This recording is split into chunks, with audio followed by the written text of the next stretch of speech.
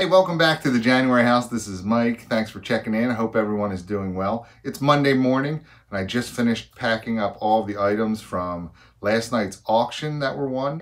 I wanted to say thanks again for everyone that came out and supported John and I in the auction last night. We had a great time, as we always do. Thanks to all of you for your support. Thanks to everyone who purchased something from us last night. If you paid for your item, it will ship out this morning. If you need a tracking number, let me know and I'll send you a tracking number. So I have a lot going on today. I have to finish packing up items that sold in the other various stores. I'll show you some of those cool items here in a minute. I also want to continue my listing streak that I've been on recently. Last few days I've been able to list 10 to 15 items per day uh, for the, like the last three or four days. So I'm doing pretty well there. I want to continue that. And then today at 4 o'clock p.m. Eastern Time, I will be live on Paul Antonelli's YouTube channel. Uh, doing a little interview. We'll have a little discussion about reselling and some other cool topics. I'll put a link to the interview in the description of this video below. Come check us out at 4 o'clock p.m.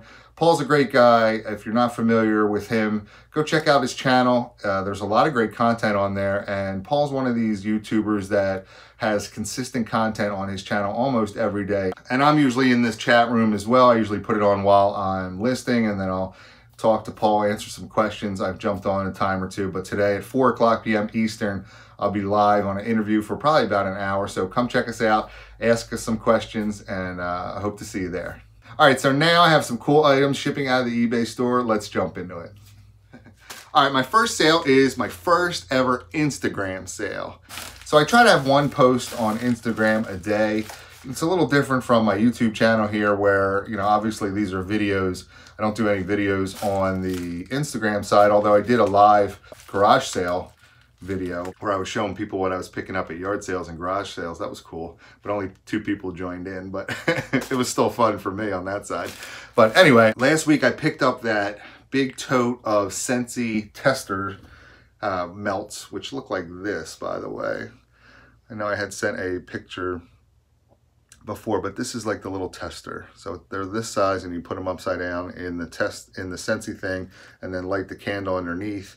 And people can get a sense of what the scent is before they buy a full-size version of the scent. So they're pretty cool. I had posted a picture that I had picked up this big tote and I was gonna lot them out into groups of 30. And someone that follows me saw the post and said, hey, I'd be interested in 30 of those, how much? So I said, $15 shipped to you. And they said, great, uh, we'll send the PayPal right now. So they did. And this is going out to Ashley. Ashley, thank you very much. I actually put a few extra in here than the 30. So hopefully you enjoy those extra ones as well. All right, next is a Hess truck, toy truck, and racers, actually. Got this in a storage locker, so probably 50 cent cost into this. And there was a number of these Hess trucks in there. And initially, I didn't think that they would sell that well. I see them for sale everywhere. But slowly but surely, I've been selling these little by little, and I only have a few left now. sold this for $12.99 plus shipping. All right, next up is a remote. So uh, on Saturday, I posted that yard sale haul video. I actually picked up a DVD VCR combo on Friday for $15. So the lady told me, yeah, it works great. Everything's in there and works fine. And the box had the manual in it and this remote and the DVD VCR combo. But when I got home and tried to test it, the DVD door wouldn't even open. The tray wouldn't open for me to put DVDs in. So obviously it didn't work. But I saw that you can sell the remotes and they were selling for 25 to $30 on eBay. I listed this for $29.99 and got my full asking price in less than a day. So I doubled my money. Pretty cool.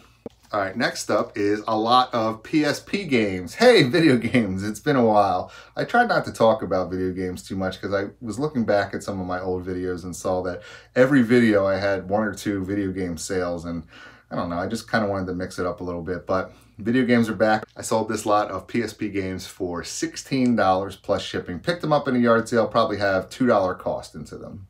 All right, next is a lot of five Crown Royal bags. I'll put a better picture of them here for you to look at. So last year I had purchased a large lot of Crown Royal bags on the Nextdoor app. If you're familiar with Nextdoor app, it's kind of like a um, neighborhood um, bulletin board app, if you will. But they have a for sale section, and uh, a lady was selling this large lot of Crown Royal bags for $5, and I picked them up. One of them, a red one, pink, red, not really sure the color, but it's not purple like these. um, but it ended up selling for $40 by itself. So I'm way into the money on these Crown Royal bags, and I sell a few of them every once in a while like I did here. And I sold these five Crown Royal bags for $10.95 with free shipping.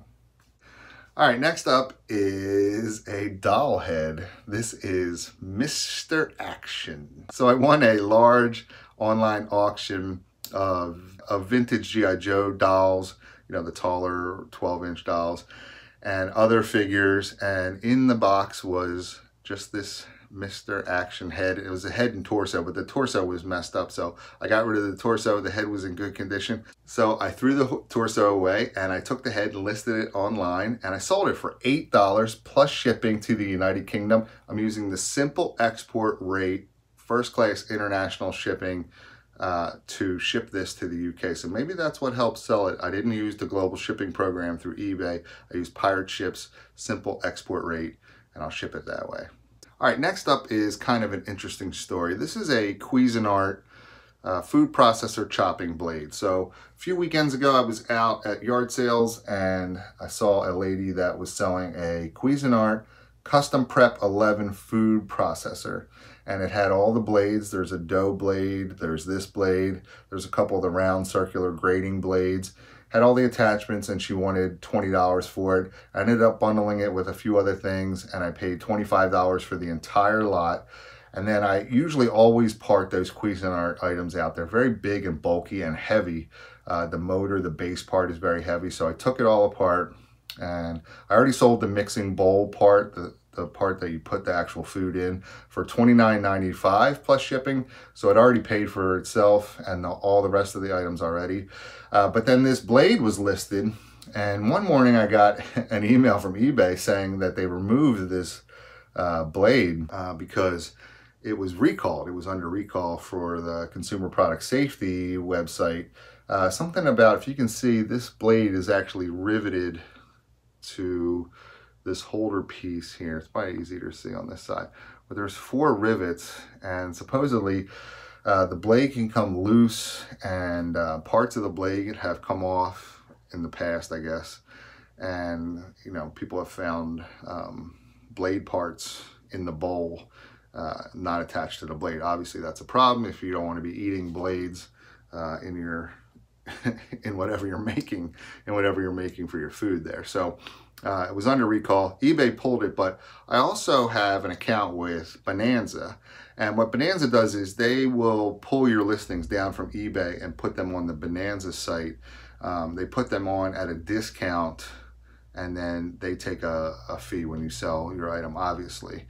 Uh, so uh, for some reason, the item was still listed on Bonanza and I sold it this weekend. So this sold for $15.40 on Bonanza plus shipping. All right, next is a vintage Teenage Mutant Ninja Turtles cup, mug. It's plastic. It's from 1989 and it's in good shape. Uh, the colors are still good. Uh, could probably use a little better cleaning on the inside, but I did, uh, I did clean it out myself. And I got this in a big lot that I just bought from John, who does the auctions with me on Sunday nights. And I spent $150 on a large number of vintage Teenage Mutant Ninja Turtle items. I bought 20 uh, Ninja Turtle figures. There's a number of accessories. There's some vehicles. Um, there was color forms. Uh, there was this cup. There's a puzzle that was unopened, a tray, just a whole uh, bunch of items. I might take a big picture of the uh, rest of the items that I have in the lot and put it on Instagram and uh, and see what the kind of feedback is there. But uh, but I ended up selling this for nine dollars plus shipping. All right, next is this vintage New York Knicks starter snapback hat. I picked this up for $2 and put it on eBay for $29.95. And I had a number of what I'll say are low offers.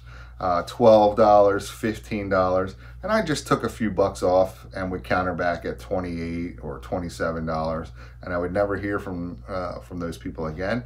Uh, but overnight, last night, this sold for full price, $29.95 plus shipping. All right, finally, I sold this vintage 1989 Baxter Stockman figure from the Teenage Mutant Ninja Turtles. Like I said, I got this big lot from John and I sold him for $10.95 plus shipping. Uh, so that's it. I got to get to packing these items up and shipping them out. Again, don't forget to check me out today, 4 o'clock p.m. Eastern Time on Paul Antonelli's channel. I will have a link to that interview in the description below.